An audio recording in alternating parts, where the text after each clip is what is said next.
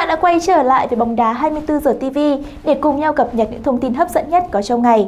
Và trước khi bắt đầu với bản tin chính ngày hôm nay, các bạn đừng quên nhấn đăng ký kênh để luôn luôn được cập nhật những thông tin hấp dẫn nhất có trong ngày đến từ chúng mình nhé. Bản tin thể thao nóng nhất 24 giờ hôm nay, chúng tôi xin gửi tới quý vị những thông tin nóng sau đây. Hà Nội FC nhận hung tin trước trận siêu cúp quốc gia 2020.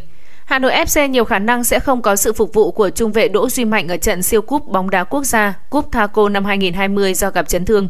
Theo đó, trong buổi tập của Hà Nội FC tại sân hàng đẫy vào chiều ngày 6 tháng 1, trung vệ Duy Mạnh đã phải tập riêng không tham gia cùng các đồng đội. Thông tin từ phía đội bóng thủ đô cho biết, Duy Mạnh bị phù nề cổ chân và cần ít nhất vài ngày để bình phục. Trong đội hình của Hà Nội FC, Duy Mạnh và Đình Trọng mới bình phục sau chấn thương và được huấn luyện viên Chu Đình Nghiêm sử dụng ở giải giao hữu tứ hùng tại thành phố Hồ Chí Minh. Tuy nhiên hai cầu thủ của đội bóng thủ đô đều có phong độ không thật sự tốt. Hà Nội FC đã để thua hai trận, hòa một sau 3 trận ở giải đấu nói trên. Hiện tại Hà Nội FC đang chuẩn bị rất tích cực cho trận đấu siêu cúp bóng đá quốc gia Cúp Thaco năm 2020 với Viettel vào ngày 9 tháng 1. Chia sẻ trước thêm trận đấu, huấn luyện viên trưởng Hà Nội FC Chu Đình Nghiêm thừa nhận việc bỏ ngỏ để Duy Mạnh cũng như Đình Trọng ra sân. Huấn luyện viên Chu Đình Nghiêm nói, các cầu thủ ngoại binh chưa có thời gian hòa nhập với đội, sự chuẩn bị cho trận đấu của Hà Nội FC là cao nhất và đội sẽ chơi cống hiến, giành kết quả cao nhất. Trước mắt Văn Hậu chắc chắn vắng mặt ở trận tới, sắp sang PVF điều trị, còn hai cầu thủ Đình Trọng và Duy Mạnh mới bình phục chấn thương chưa thể có phong độ 100% và cần thời gian để lấy lại cảm giác, khả năng ra sân của hai cầu thủ này là bỏ ngỏ bởi Hà Nội FC còn Thành Trung và Việt Anh. Trận tranh siêu cúp quốc gia Cúp Thaco năm 2020 sẽ diễn ra lúc 17 giờ ngày 9 tháng 1 trên sân vận động hàng đẫy. Nếu như đánh bại Việt Theo ở trận đấu tới, Hà Nội FC sẽ có 4 lần vô địch siêu cúp quốc gia và san bằng thành tích với Sông Lam Nghệ An và Bình Dương. Siêu cúp quốc gia 2020, câu lạc bộ Hà Nội lại xây mộng bá vương. Câu lạc bộ Hà Nội bị Việt Theo chốt ngôi V-League nhưng ở siêu cúp quốc gia họ vẫn là đương kim vô địch. Bảo vệ thành công siêu cúp 2020 sẽ là mũi tên trúng nhiều đích của thầy trò huấn luyện viên Chu Đình Nghiêm trên hành trình xây lại mộng bá vương. Siêu cúp quốc gia với tính chất là trận đấu khởi động mùa giải mới thường không mang quá nhiều giá trị khiến các đội bóng phải dồn tâm huyết cao nhất. Ngoài ra đây cũng là thời điểm nhà dần khối lượng sau quá trình tập nặng nên đa số các cầu thủ chưa đạt phong độ cao. Nhưng với câu lạc bộ Hà Nội, đây là một cột mốc quan trọng trong bối cảnh họ vừa trải qua một mùa bóng không như ý. V-League 2020 chỉ về nhì giống như một thất bại đối với đội bóng của Bầu Hiển vốn đã quen chiến thắng. Đại dịch COVID-19 làm gián đoạn các kế hoạch tập luyện và thi đấu, thể thức V-League thay đổi, tước đi cơ hội tích thêm điểm từ những đối thủ ở nhóm dưới. Động lực chinh phục có phần giảm sút, hàng loạt trụ cột chấn thương, Đình Trọng, Duy Mạnh, Văn Hậu.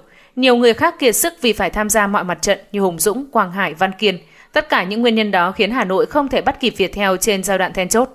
Đấy là bài học xương máu mà ông Nghiêm đã nằm lòng – V-League bây giờ không còn dễ chịu như năm đầu tiên ông tiếp quản ghế nóng từ huấn luyện viên Phạm Minh Đức năm 2016, đưa đội bóng chỉ hòa 1 thua 3 trận trong 4 trận đầu mùa lên ngôi vô địch. Muốn đòi lại những gì đã mất ở giải quốc nội, cần phải tập trung chắt chiu ngay từ đầu, thậm chí ngay từ bước chạy đà như siêu cúp. Câu lạc bộ Hà Nội vừa kết thúc quá trình chuẩn bị bằng giải giao hữu tứ hùng tại thành phố Hồ Chí Minh mà không thắng bất cứ trận nào. Họ hòa Tân Bình Bình Định 3-3 và thua hai trận trước Sài Gòn 1-3, thành phố Hồ Chí Minh 1-2, vốn đều là những nạn nhân quen mặt họ trước đây. Dĩ nhiên không có gì phiền muộn từ những kết quả nghèo nàn đó. Đá tập là cơ hội để huấn luyện viên Chu Đình Nghiêm sử dụng lại Duy Mạnh, Đình Trọng vừa lành chấn thương ở những mức độ khác nhau và đánh giá khả năng hòa nhập của người cũ như Quốc Long hay các ngoại binh mới quan trọng như Bruno Javane. Văn Quyết đang có phong độ tốt sau khi được gọi trở lại tuyển Việt Nam. Thành Lương Tấn Trường cho thấy gừng càng già vẫn còn hữu dụng. Quang Hải gạt bỏ những khúc mắc đời thường để tìm lại niềm vui chơi bóng và săn bàn. Cùng với sự trưởng thành của Bùi Hoàng Việt Anh, Văn Xuân Văn Tới, câu lạc bộ Hà Nội đang sở hữu một đội hình vừa có mũi nhọn vừa có chiều sâu. Đội hình ấy sẽ gặp thuốc thử thật sự ở trận tranh siêu cúp là Viettel, một đội bóng chỉ đặt mục tiêu top 5 top 3, nhưng rồi khi thời cơ đến, họ lì lợm và thực dụng chớp lấy nó để vô địch V-League 2020. Một đội bóng không hẳn là có lối chơi tấn công đẹp đẽ, nhưng phòng ngự thì đầy khoa học và phản công thì sắc sảo. Siêu cúp vì thế sẽ là cuộc đấu của vỏ quýt dày và móng tay nhọn, của mũi giáo và tấm khiên. Viettel có chút bất lợi khi Quế Ngọc Hải và Bùi Tiến Dũng nhiều khả năng vắng mặt vì chấn thương và việc gia đình. Đây là hai vị trí chịu lực lớn nhất trong sơ đồ bê tông mà huấn luyện viên Trương Việt Hoàng dày công vun đắp. Bởi vậy, tuyến vững vàng nhất đang có nguy cơ trở nên mong manh nhất. Ở hàng công, Viettel cũng mất chân sút hàng đầu của họ là Bruno cho chính đối thủ Hà Nội. Tuy nhiên trong tay ông Hoàng vẫn còn nguyên sức mạnh từ hàng tiền vệ gồm nhiều cái tên đẳng cấp như là Trọng Hoàng, Hoàng Đức, Khắc Ngọc. Theo nhìn nhận của giới chuyên môn, câu lạc bộ Hà Nội đang có một chút lợi thế trong trận siêu cúp chiều 9 tháng 1 năm 2021. Nếu vượt qua Viettel, Hà Nội sẽ có lần thứ tư đoàn siêu cúp quốc gia và ý nghĩa lớn hơn, họ xác lập lại vị thế vốn dĩ thuộc về mình sau một mùa bóng nhỡ nhàng. Bình luận viên Quang Huy dự đoán câu lạc bộ Hà Nội và Viettel phải đi tới loạt luân lưu. Bất chấp phong độ không ổn định của thầy trò huấn luyện viên Chu Đình Nghiêm ở giải giao hữu tại thành phố Hồ Chí Minh mới đây, bình luận viên Quang Huy vẫn dự đoán cúp sẽ thuộc về Hà Nội FC. Trước thềm trận tranh siêu cúp quốc gia 2020 giữa Hà Nội và Viettel FC, bình luận viên Vũ Quang Huy đã nhận định rằng đội bóng của huấn luyện viên Chu Đình Nghiêm sẽ chơi chủ động hơn Viettel, song cũng chỉ giành được chiến thắng nhờ loạt sút luân lưu. Vị này cho biết, Hà Nội FC và Viettel nhiều duyên nợ và vừa rượt đuổi nhau trên bảng xếp hạng V-League mùa trước. Tôi cho rằng hai đội sẽ chơi cống hiến và tạo tỷ số sát nút. Và tôi có linh cảm rằng trận đấu tranh siêu cúp sẽ phải dựa vào loạt sút luân lưu để phân định thắng thua. Cả hai vừa chuẩn bị tích cực cho mùa giải mới, Viettel sẽ còn mạnh hơn mùa trước với lực lượng dạn dày nhờ có thêm nhiều sự bổ sung chất lượng như là Paulo Petro. Họ cũng chững chạc hơn ở V-League sau một mùa giải nữa. Còn Hà Nội FC sau mùa giải về nhì thì ngay lập tức đầu tư và thay đổi để chứng tỏ rằng đây mới là đội bóng số 1. Họ cho thấy tham vọng rất rõ. Nên trận đấu tới sẽ rất hay, căng thẳng và quyết liệt, nhất định vì nhiều hảo thủ ở đội tuyển đối đầu nhau. Chuyên môn trận này sẽ cao và rất đáng chờ đợi.